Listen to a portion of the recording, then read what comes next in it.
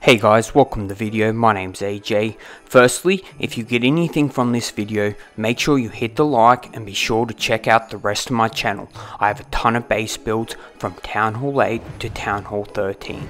Right, let's get into our layout for today. This is the current layout I've been running since the Town Hall 13 update, and it's been holding up pretty good.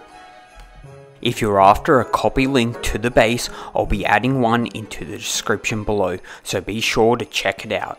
Next, let's go ahead and jump into a recent replay and see how the base holds up.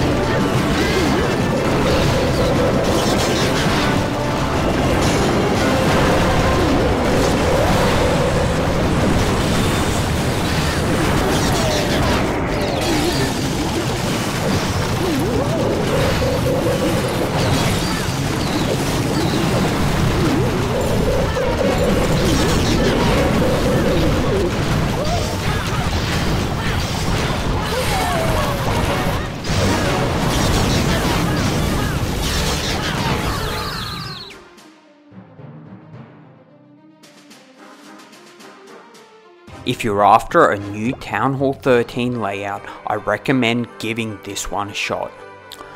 Alright guys, that's it for me today. I'll leave you with the base on the screen. Once again, if you got anything from this video, hit the like and subscribe for more Clash content. My name is AJ, and I'll see you in the next video.